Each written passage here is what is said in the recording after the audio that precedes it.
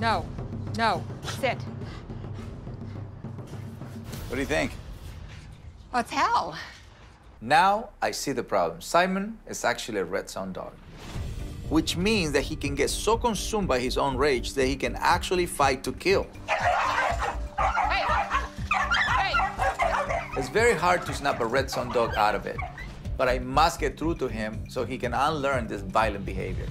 And Simon lives in a constantly changing environment, which makes him feel insecure. Sandy needs to learn to recognize his insecurities and correct them before he acts out. All right, let her go again. I'm not sure how to stop him. Then we're gonna stop her.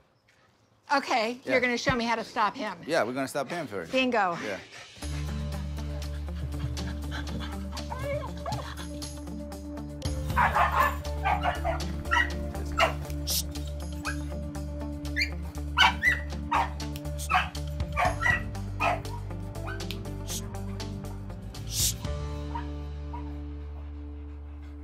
Simon went after Stella just like before.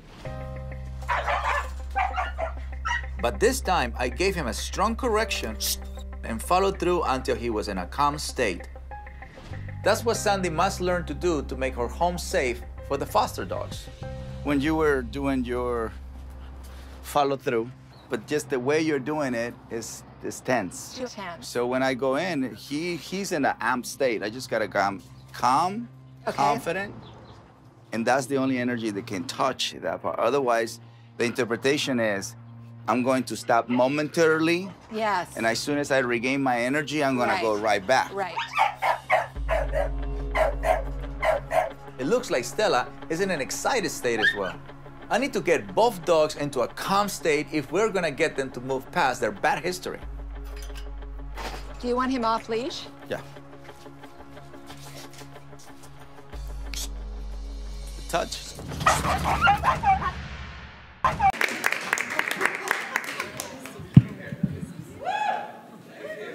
Thanks for being Thank here. you. I have to I have to open this Q&A by saying that Junior is the exact replica emotionally and physically and personality-wise of the pit that I lived with that passed away a few months ago and it's the most under I, it, it's such a malign breed and they are such wonderful amazing dogs and it just goes to show as you've always said it's about the owner not the dog Yeah, I think uh, I, it's the right thing to to to uh, to become aware of. Uh, we don't have a problem with dogs. We don't have a problem with breeds. We have problems with humans who are a- educated, had to have a healthy, harmonious relationship with what we call men best friend. Yeah, so they are our best friends, but we are not their best friend. yes Because you know we turn around and we blame them for everything they do, but it's us making them behave that way. we put them in situations that they shouldn't be in. when a dog doesn't got, doesn't get enough exercise, that energy uh, becomes a buildup, and that buildup becomes frustration.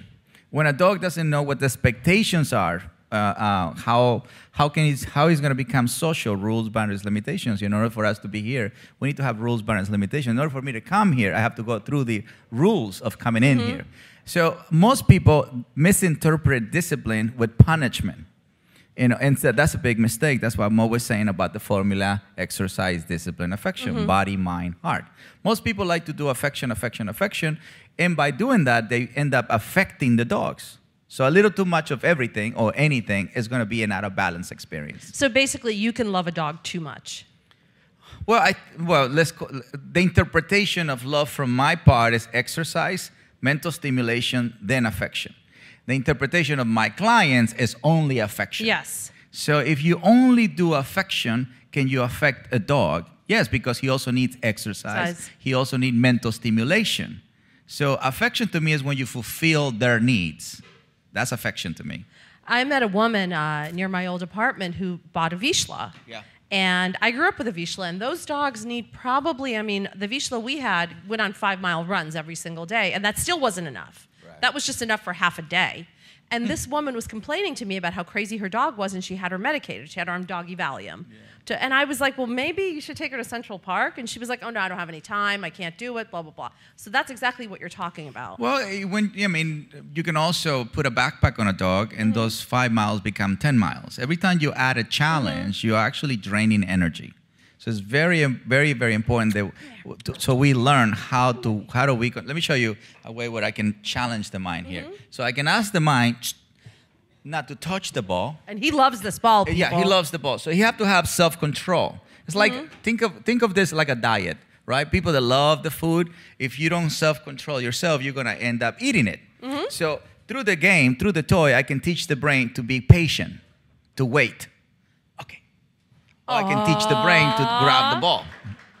Junior. right? So Oh, Junior. you have to be able to create two things in the brain of a dog: calmness and excitement. Most people want to keep the brain of a dog excited. Mm-hmm. And so that leads the dog to believe that you want him to be excited all the time. That's what they bark, that's what they dig, that's what they jump, that's what they run away. So it's excited brain that does that. So here. So he also have to let go as fast as, as he took the ball. See, so you have to be able to control instincts. So if you mm-hmm. can't control a game, then you're not, you're not going to be able to control a mm-hmm. desire created by humans. So, so just like you mentioned the Vizsla, that's a hunting dog. Yeah. So then the human turns around and says, let's make a dog that can fight dogs. So we have to be able to control instincts, and that way you control genetics. Aw, Junior. What? I love you. I give you that ball.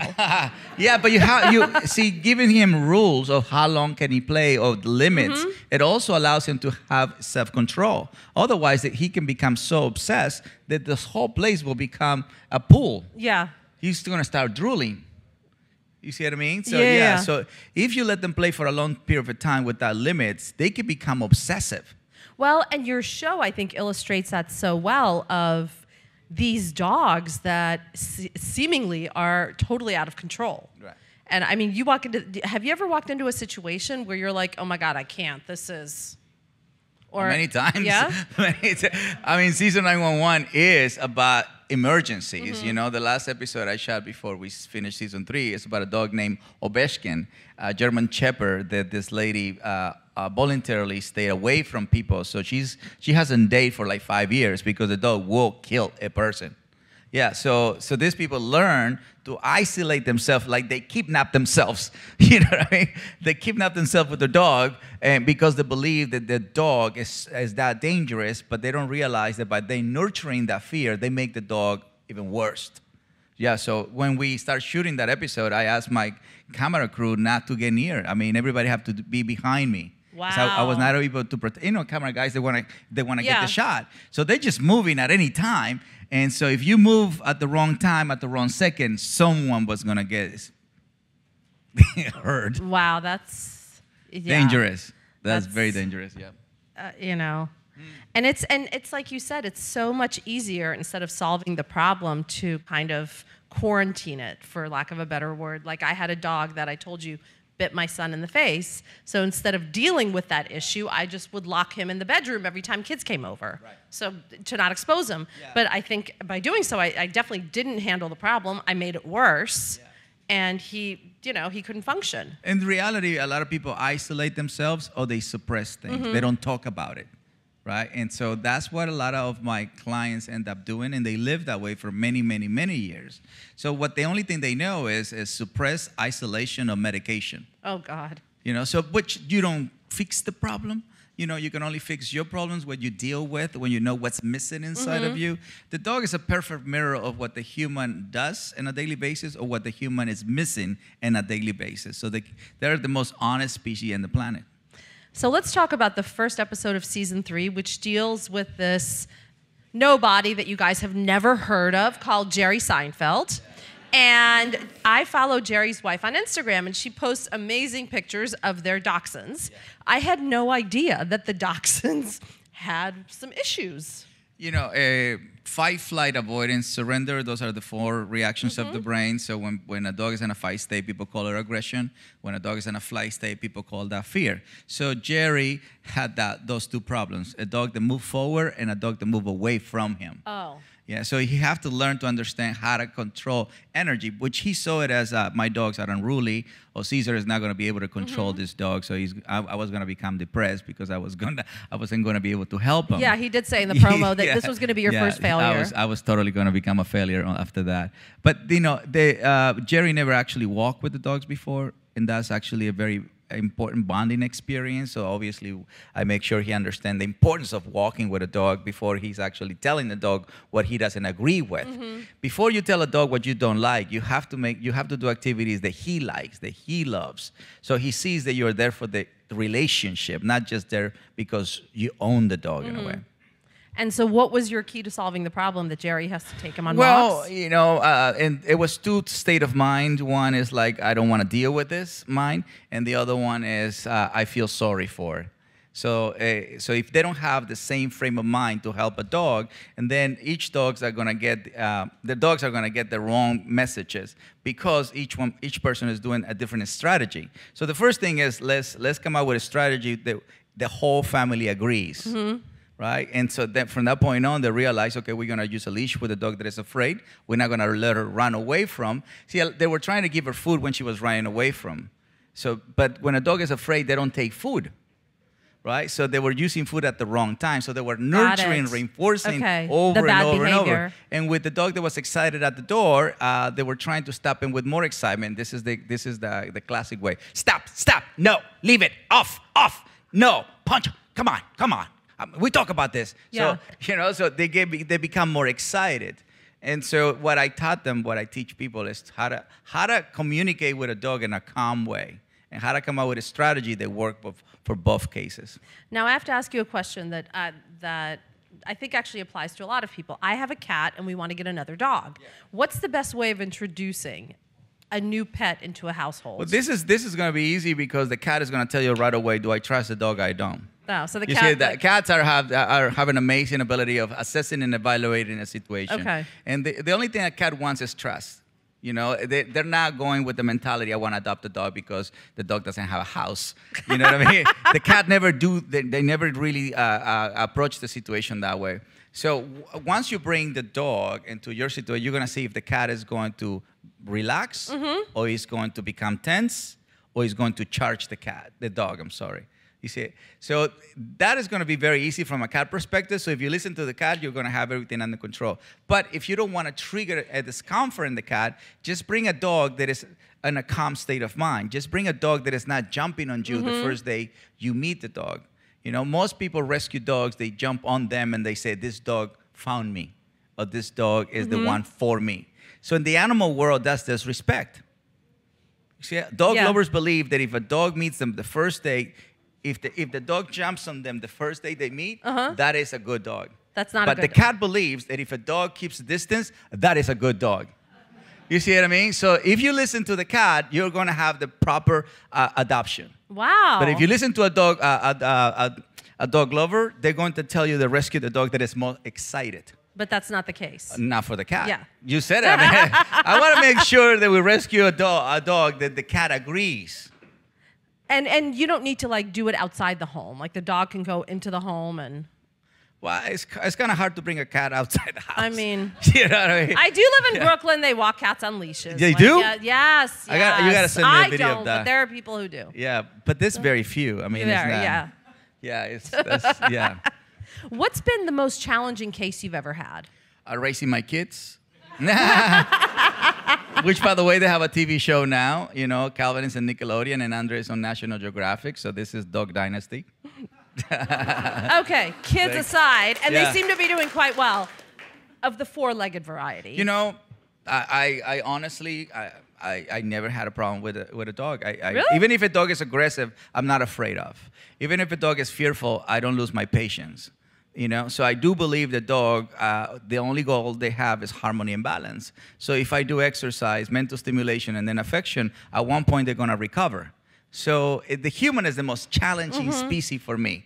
You know, training human to let go of the past, uh, training humans to actually exercise, or to encourage humans to do it. This is the right thing, or to understand calm, assertive energy. That's more difficult for me than actually telling a dog uh, how to live a normal life because that's all they want. They don't care about fame, money, power.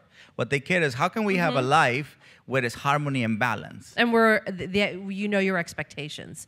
I feel that there's- that's very important with animals too. They that live a very Yeah. simple life. We live a complicated life, right? So for me, that's more much more challenging when I'm working with a species that is more intellectual, more rational.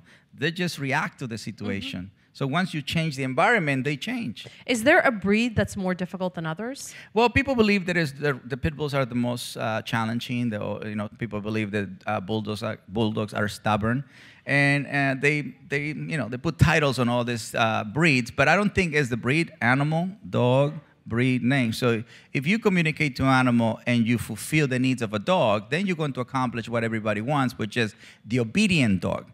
So what does obedient means? A dog that trusts you and respects you. Is that only for certain breeds or No. all dogs? That's right. So I mean, can- look at this dog. He's sleeping. well, He's he's, like relaxed fully right now. chill, But yeah. if you, so if you bring the toy, the, ex- the excitement again, right? And then the brain comes out. Come on, Junior. See it? You can wake him up. You can, you can.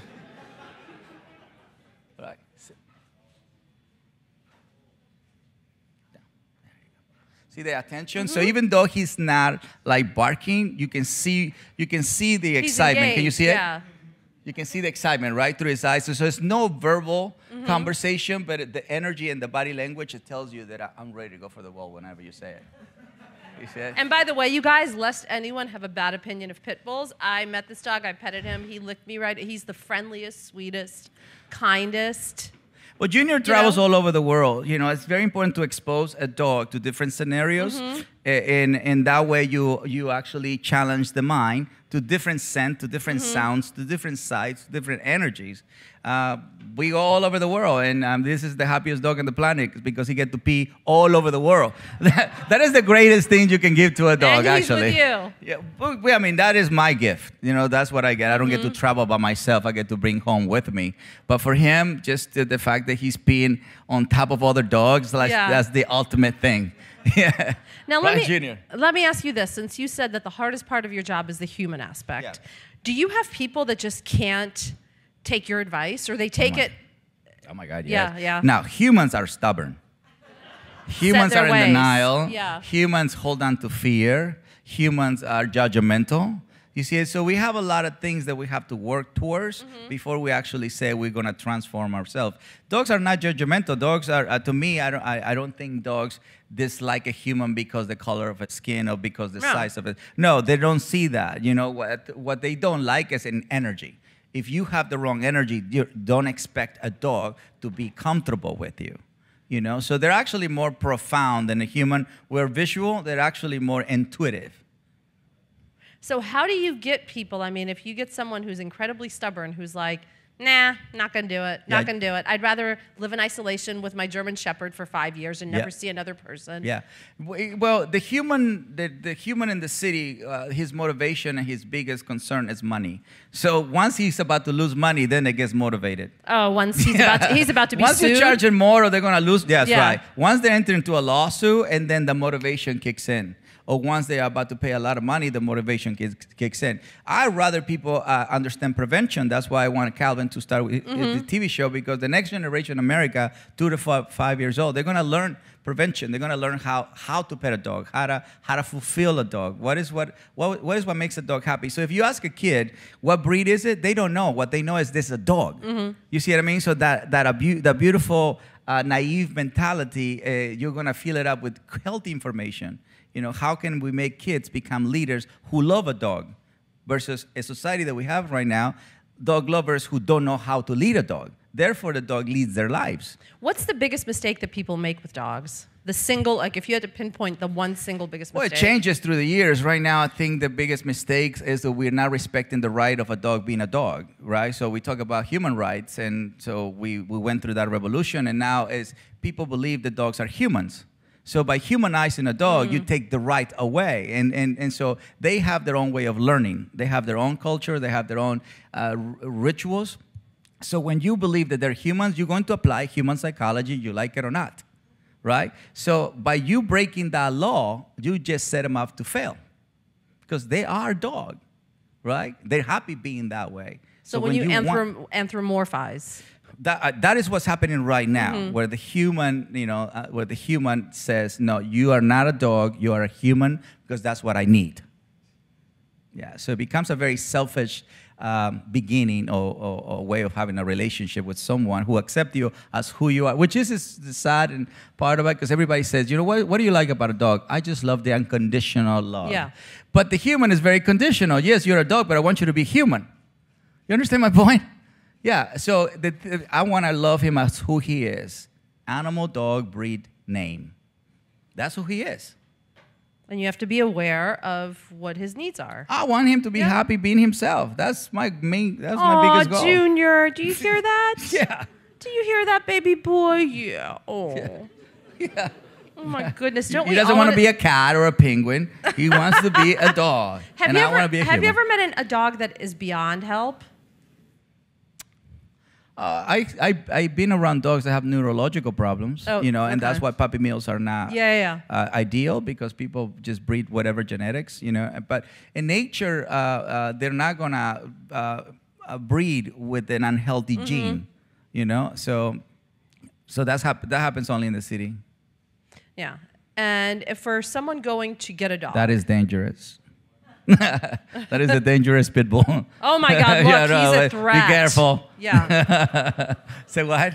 I said he's a threat. Look Yeah, at he's him. Oh, he's like like um, if so for anyone out here who's who wants to go get a dog, Yeah. what would you advise them to do? I, I, you know, my suggestion for a lot of people now is foster first, so that way you get to have the flavors of different energies. Um, if you, if you can, if you can exercise the, the uh, putting emotions aside and learn to assess and evaluate an energy and set rules, boundaries, limitations, then you're going to have a, a better uh, adoption. Because what happens a lot of times, people just go in a shelter and they feel sorry and they feel bad and they just grab whatever dog is the worst, you know, whatever dog feels the worst or looks the worst. Yeah. Then they grab that dog, they bring it home, and they, they set no rules, boundaries, limitations. Then that human, and I'm feeling, well, he was fine in the beginning, but now he is a menace. This is the reality. From 10 dogs were rescued, six are returned. You understand? Every Yeah. week, from, from 10 dogs were rescued, six are returned. because people can't cope with them. It wasn't compatible.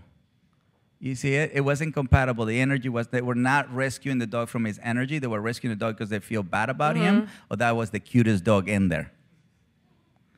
So, That's- yeah. Or their lifestyle. Visual or doesn't- emotional. My, my, my goal is to teach people to be more assessing and evaluating the energy of the mm-hmm. dog. And immediately to know what is the needs of a dog. So if he's nervous, he needs to work on his self-esteem. If he's too excited, he needs to run. He needs to go for a long walk. And when you rescue a dog, please take him for a long walk because most dogs are in kennels 24/7. That's actually really great advice. And that way you see how, how you relate to them while walking them, if they're even leash trained, all that stuff. You notice that homeless people don't have problems with dogs.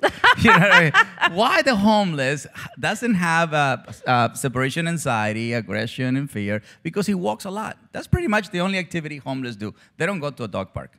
You know what I mean? they don't go, they, they just don't do that kind of socialization. What what homeless do is they walk. They migrate constantly with the purpose of finding cans and you know the mm-hmm. destination is a migration behavior. So they keep it very natural, very organic. And that's what dogs need. Well, look at this audience. I'm sure you Very guys quiet. have I'm questions. Mm, scared. Oh, no, they're going to speak up All now. right, good. Hi, Cesar. They're in a calm state. I've been using your methods for years with several dogs, and I have a wire-haired Vizsla puppy right now, and she's wonderful. Yeah. I have absolutely no issues with her. Field training, take her for long walks, That's very awesome. consistent training. She does place. I can walk away, all good. My problem is with strangers that want to that throw themselves at her and want to pet her. Yeah. And I say she's in training. You know, I, I- I'll, I'll let her sit. She'll get a reward, but please don't approach. And and I get wise remarks like, "Oh, is she still in training?" You know, I see her day after day. So what can I do to nicely tell these people, "Hey, back off"? Well, you're gonna have the humans who said dogs love me. So regardless of what your beliefs are, and you regardless of listening to Cesar, I don't care. I have to pet every single dog on the planet. Yeah, uh, that's that's actually shows you. I mean, uh, your your point is people want to touch, talk, and give eye contact. The right thing to do is no touch, no talk, no eye contact. That is the right thing to do. Let the dog come to you if that's what he wants. But everybody likes to. Most people like to impose their affection towards the dog. It's more about them than it is about the human. And so the truth is, you're going to find yourself repeating it. So just better surrender to it. Because human is not ready yet to hear rules, boundaries, limitation towards them. you know, which that, that should be our way to demonstrate respect. Distance, let the dog come to you, let him smell you, let him see you, let him feel you. Then they want to be touched. They don't want to be touched right off because they don't know the person. You know what I mean? We, we don't accept people that just come into our intimate space if we don't invite them into our intimate space. Yeah, you said that I saw that episode on your show where you know. walked right up to that woman and stood Yeah, next so her. And she this is like, what most people do. That's a dog right there, and they start going this. Uh, Yeah. You know what I mean? Yeah. Look, and it's like, what's wrong with Cesar? So that's exactly what the dog will feel. Yeah.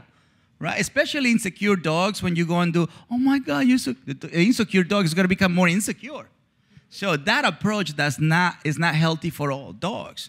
Only happy-go-luckies, if you do, if you break the, they're only they're gonna stay that way. But the dogs that bite and the dog that is insecure, they're going to have a problem with that approach. So I'm, you know, I'm with you on the no touch, no talk, no eye contact. Hopefully one day we, next generation America, I guarantee you they will do it because they're kids, so that's all they heard.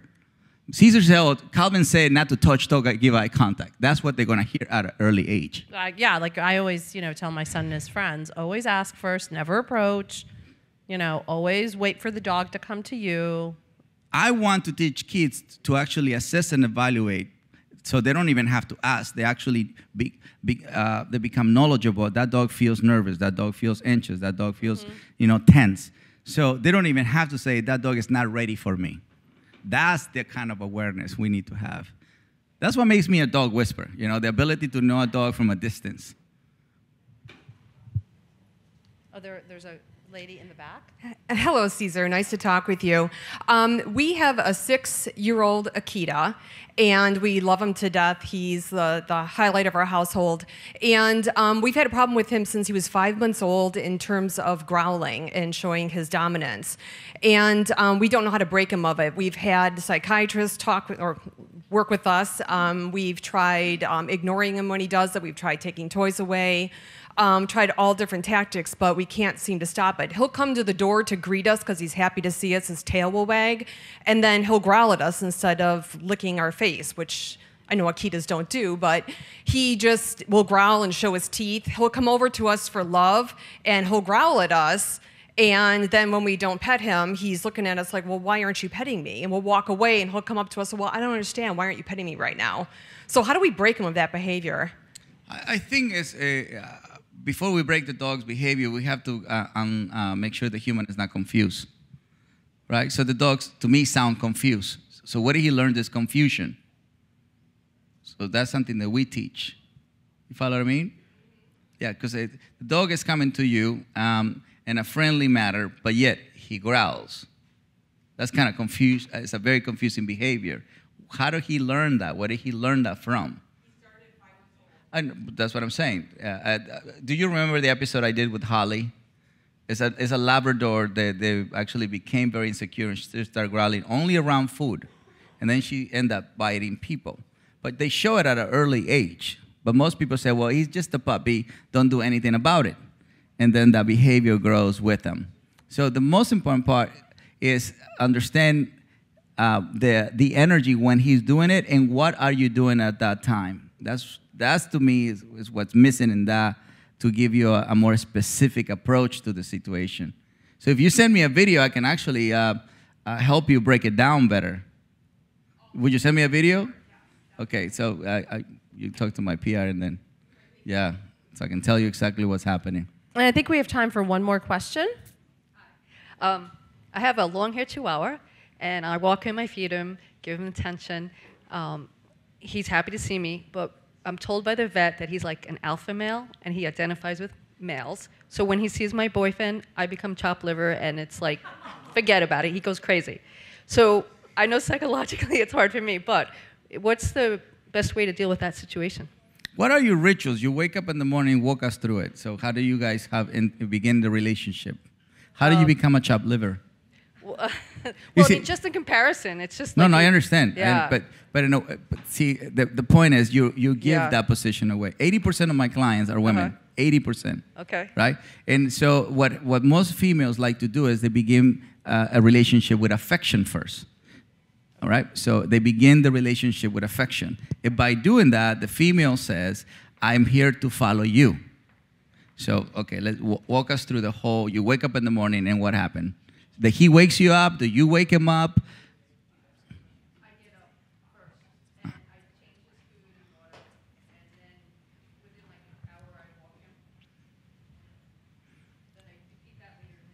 Right.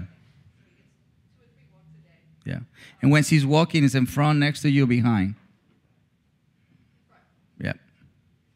That's dominant behavior. I can no, tell listen, you that from my dog. She's beginning. She's she, the dog is not working for food number one right? Because food and water is, is changed right away, right? So you pretty much cook the breakfast and make sure you know the don of the house gets the breakfast. Then you take this don of the house for a walk, but this don of the house is in front of you. So you pretty much think about it. You're following him, right? So yeah. So in your mind, you see it from that's my baby, or that's my dog, or that's my beloved thing. But in his mind, he sees you as a source of following. you see it?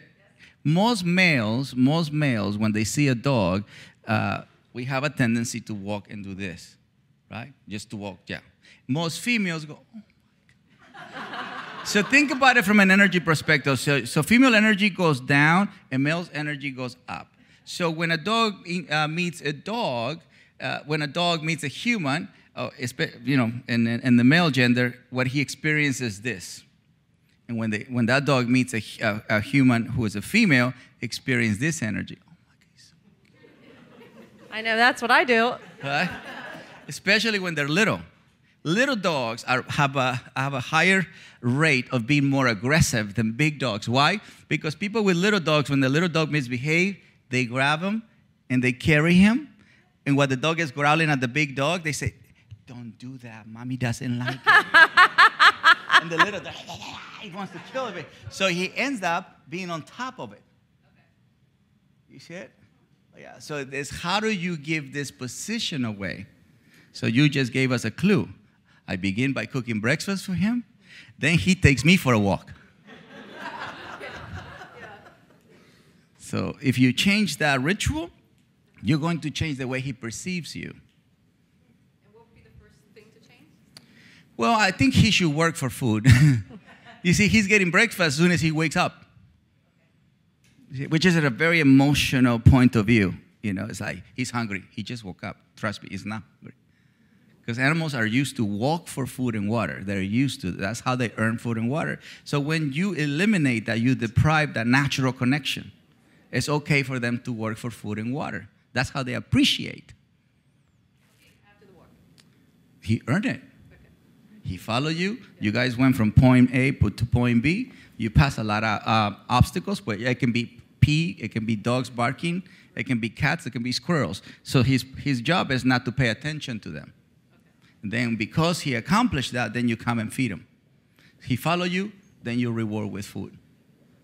But right now it's just wake up, food, and then you follow him. And you pick up his poop, so imagine, you know, like that's. Yeah, don't- Basically, they don't- talking to you, I have to say, I did every single thing wrong with my dog, Buster. Rest in peace. Rest in peace, Buster. But think You about know? it. That's why I have a TV show.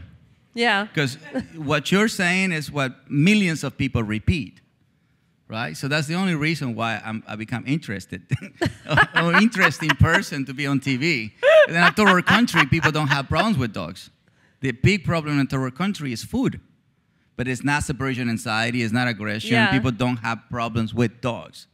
See, it, it- that's a that's a more modern uh, world. No, you're, abs- you're absolutely right. It's ama- it's absolutely amazing. Um, and this is really, I think, good advice for everyone, whether you have a dog or not, because eventually, I think at some point, all of us will have an animal of some sort. Yeah, So- listen, there's three kinds of humans the dog lovers, the people who are afraid of dogs, and the people who don't like dogs.